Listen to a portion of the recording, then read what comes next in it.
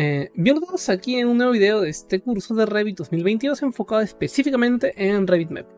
En esta ocasión pues ya concluyendo la parte de instalaciones mecánicas nos centraremos en cómo añadir los elementos anotativos y todas las etiquetas correspondientes a fin de tener correctamente valorado el plano. Así que sin más pues, vamos a comenzar.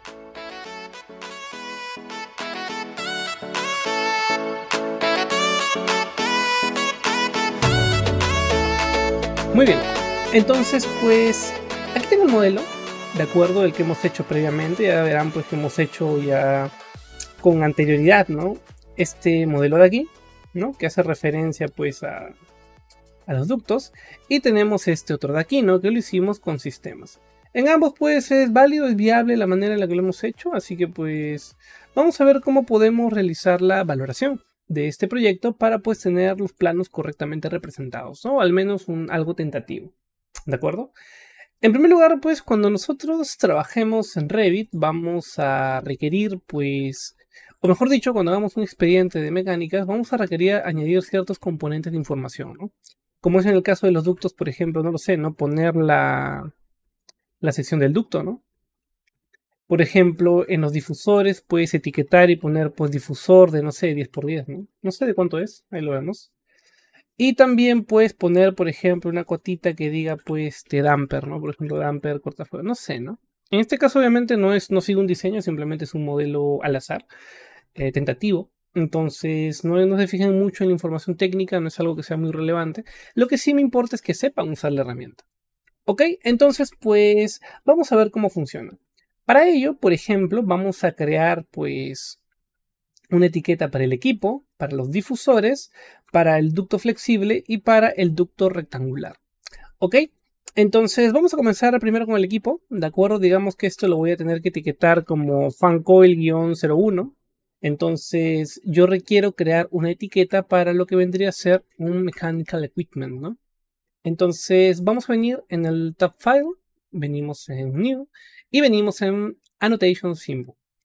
Esto directamente quizá no les parece algo tan nuevo porque de hecho lo hemos visto en arquitectura, lo hemos visto en estructuras, lo hemos visto en este mismo curso de MEP en la parte de sanitarias y de eléctricas, ¿ok?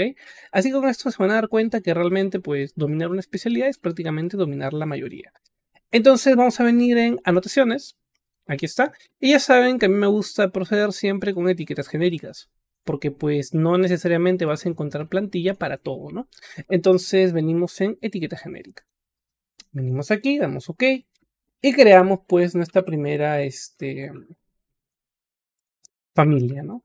En este caso, lo que yo iba a etiquetar, bueno, esto es una etiqueta genérica, es decir, pues sirve para componentes genéricos, pero yo lo que quería etiquetar era justamente pues un equipo mecánico, ¿no?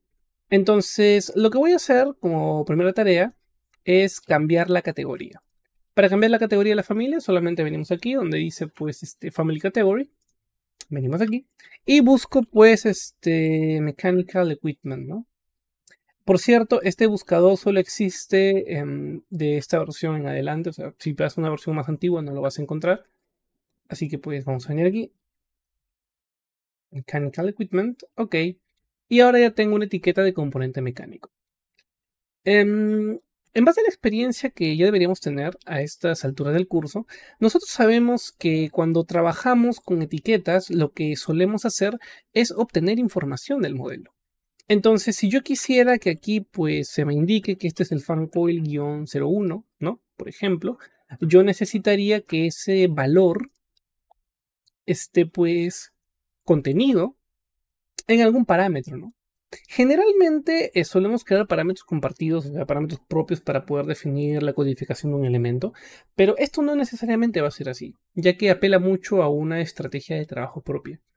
Entonces, como el objetivo es ver cómo funciona la herramienta, en este caso me voy a centrar en lo que vendría a ser el parámetro type mark. ¿Ok? Este es el mismo parámetro que de manera basiquita o inicial solemos utilizar para codificar vanos, por ejemplo. Así que lo vamos a usar. Aquí voy a poner fc-01. ¿Ok? Entonces, pues voy a venir a la etiqueta, ¿no? A mi familia de etiqueta. Y voy a venir aquí en lo que conocemos como label.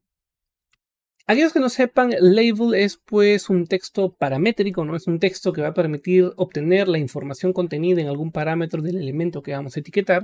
Entonces simplemente venimos a un label y ya está. Y pues el parámetro que habíamos dicho que íbamos a utilizar era type mark. Y lo añado, ¿no?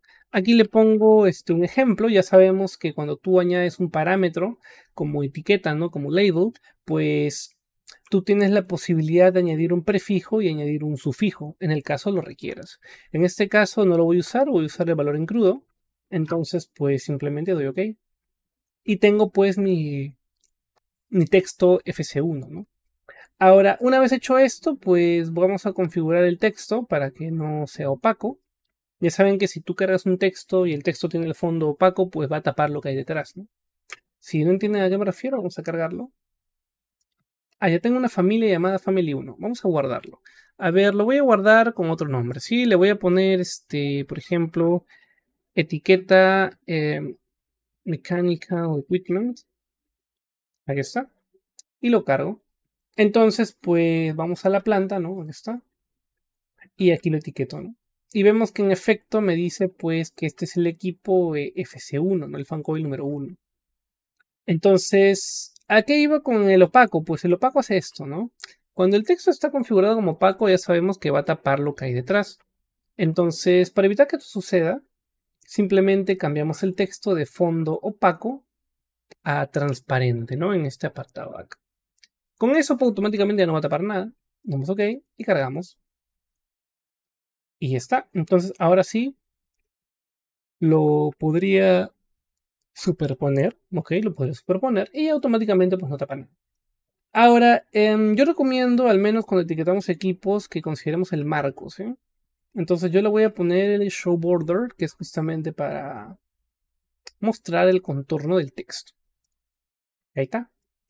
Y lo dejo ahí. Si te parece muy exagerado, creo que exageró un poquito el tamaño. Vamos a cambiar el tamaño. Vamos a ponerle de tamaño este 2.2 milímetros. Ahí está. Y a ver.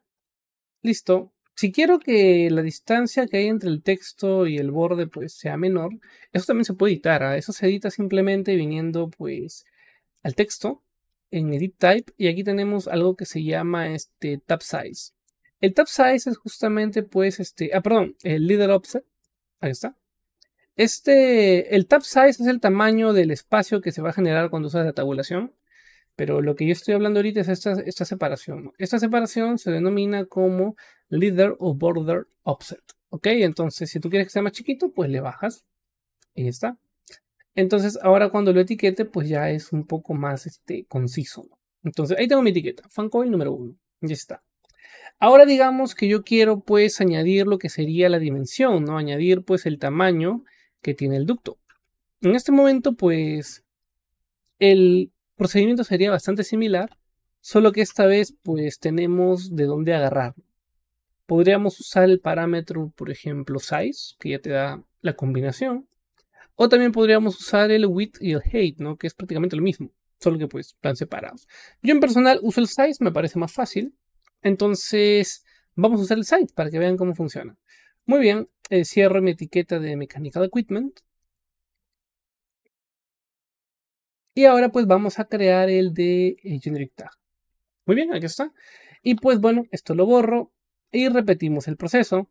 Solo que en este caso me olvidé cambiarle. vamos a ponerle Duct. Recuerden que yo creé la familia como eh, Generic Model Tag, ¿no? Entonces es una etiqueta de una categoría genérica. Lo que estoy haciendo ahorita es la estoy cambiando a una etiqueta de ductos, ¿no? Duct tag, tag. ¿Por qué voy a etiquetar pues ductos? ¿Ok? Vengo aquí muy bien, y ahora sí pues doy con el label. Aquí en este caso habíamos dicho que voy a usar size, ¿no? Aquí está. Lo ponemos aquí. Y pues, eh, bueno, le bajo el tamaño, ¿no? Vamos a poner 1.8. Está. 1.8. Y que sea igual transparente. Listo. Y esto lo voy a guardar como pues este etiqueta eh, size ductos, ¿no? Está y lo cargo. Entonces con esto automáticamente van a ver que tengo la etiqueta de size de ductos. Y listo. Si te parece que quizá pues el tamaño es muy pequeño, creo que también se me ha pasado. Vamos a agrandarlo un poquito. Vamos a ponerle, a ver, de tamaño 2 milímetros. ¿eh? Está.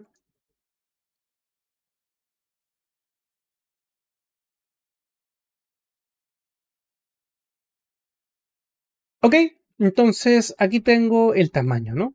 Tengo la etiqueta, pues y tengo tal. Ya. Luego de allí, por ejemplo, yo requeriría, em, digamos, este, etiquetar el tamaño del flex, ¿no? Porque tengo ductos flexibles. Aquí algunos dirán, ok, este es un ducto. Significa que si yo quiero etiquetar el size, pues también va a salir con la misma familia, ¿no? Por coherencia, pues algunos dirían que sí, pues no. De hecho, fíjense que la familia que se ha utilizado es una que viene por defecto en la plantilla. Así que el duct size, ese duct tag, funciona únicamente para ductos. Recuerden que los flex ducts, que son los ductos flexibles, es una categoría distinta. ¿Ok? Por ende, vamos a requerir crear nuestra propia etiqueta. No voy a usar la que viene por defecto para que vean cómo se crea, pero el procedimiento es prácticamente el mismo, así que va a ser bastante sencillo. Miren, vengo aquí, eh, annotation symbol, igualito, etiqueta genérica, por esta cosa, vengo en Family Categories y busco Flex, ¿no? Y aquí vemos que es una categoría diferente, ¿no? Que es ducto flexible. Entonces, aquí vengo otra vez y pues en este caso, como el ducto flexible no tiene size como tal, pero sí tiene algo que se llama diámetro, ¿no? Aquí está. Porque pues el ducto flexible es pues, circular, ¿no? Tiene diámetro. Entonces lo añado y pongo OK. Y el proceso lo repetimos, ¿no? Es decir, voy a cambiarle el tamaño, voy a ponerle 2 milímetros. ¿Está? 2 milímetros y el... Aunque acá no es necesario porque no lo voy a poner. Pero bueno, entonces esto lo voy a guardar como etiqueta ducto flexible. Está. Y lo cargo. Entonces, ahora que quiere etiquetar, por ejemplo, el ducto flexible, va a pasar esto. Voy a empezar a etiquetar. Eh, aquí algunos dirán, arquitecto ya bacán, lo pudiste etiquetar, pero ¿por qué, por ejemplo, no sale el 12? ¿No? O sea, ¿a qué se debe que, que no salga el 12? Eh, perdón, no salga el símbolo de fin, el del diámetro. ¿Por qué con la etiqueta que venía por defecto, ¿no? Que dice etiqueta y lo cambio.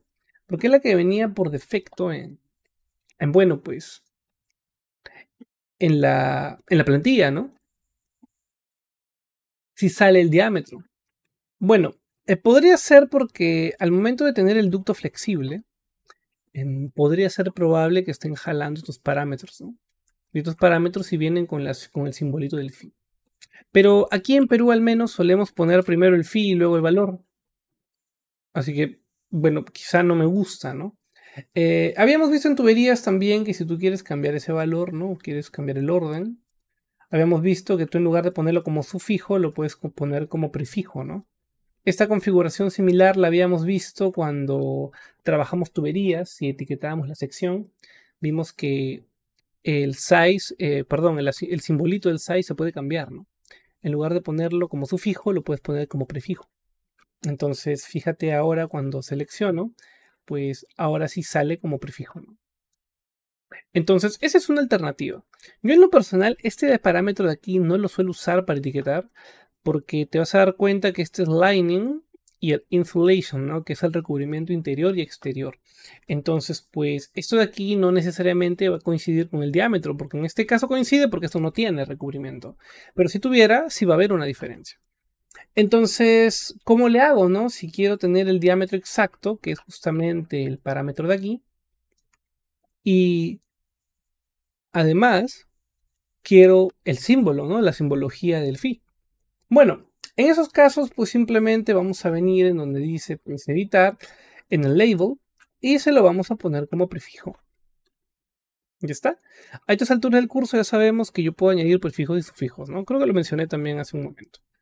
Entonces, este prefijo no es este, nada más y nada menos que un texto fijo, ¿no? Que va a salir antes del valor. Entonces, cada vez que yo etiquete, siempre va a salir pues este, este numerito. ¿no?